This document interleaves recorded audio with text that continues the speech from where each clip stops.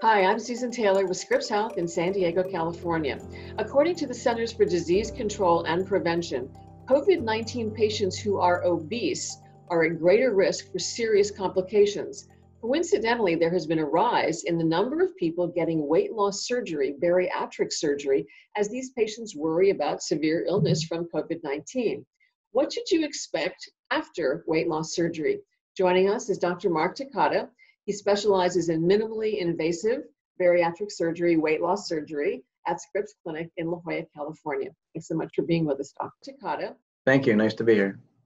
Uh, why are obese people more at risk for serious complications from COVID 19? So, you know, it's always been difficult medically to, to live with obesity. Obese patients have a higher risk of medical problems such as high blood pressure, type 2 diabetes, heart disease, increased risk of cancer.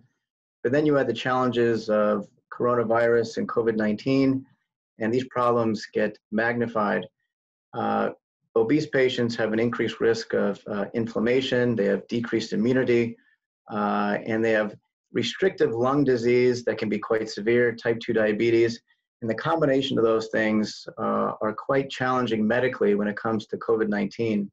So, patients with obesity have an increased risk of being hospitalized if they get COVID 19 uh, increased risk of needing intensive care unit support, and also an increased risk of mortality uh, with the coronavirus. So, for those who might not be familiar, what is bariatric surgery for weight loss? So, bariatric surgery has been around for a long time. Uh, it's evolved to what we do now. And what it really is, is an operation to uh, shrink the size of our stomach. So, this is a model of the stomach. Uh, it's actually smaller in this model than what, what it really is in real life but we shrink the size of it by about 80 to 90%, depending on which operation that we do. Uh, with the gastric bypass, we also rearrange the intestine and create new intestinal connections. And what that does, it has an effect on our body such that we have decreased appetite and also decreased ability to eat as much as we did before. But the combination of decreased appetite and less volume of eating creates a perfect marriage for weight loss. Who's a candidate for this? So based on the National Institute of Health, patients with a body mass index of 35 or greater, the body mass index is your weight uh, divided by your height, and that can be calculated uh, uh quite easily. Uh, if your BMI is between 35 and 40, uh, typically patients have to have a weight-related medical problem. If the BMI is above 40, uh, typically you do not. And then how do you qualify for this surgery? Because this isn't just something that you call the doctor and say, okay, this is what I want to do. But patients typically have to go through a medically or doctor supervised weight loss program. They have to go through an educational seminar to learn about the operations. Uh, they have to start getting support through a dietitian about nutrition for before surgery and after surgery. And all patients have to get a psychological assessment to make sure we're doing the safe, safe and correct operation. What's the recovery time for this surgery?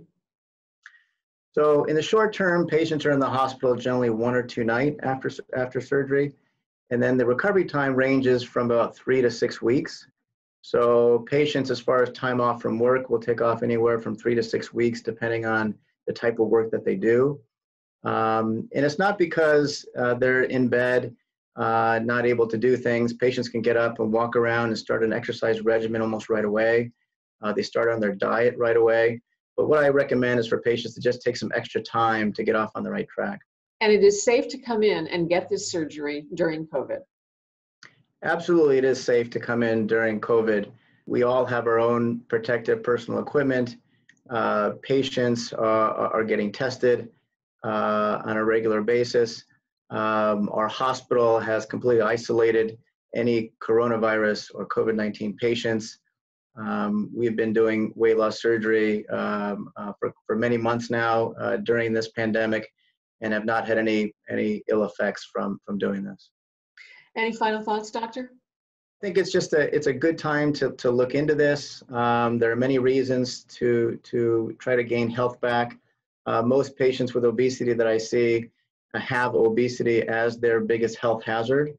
Um, and there's no better way to gain back their health than to lose weight and there's no better way to lose weight uh, than with bariatric surgery, especially with patients with a BMI over 35.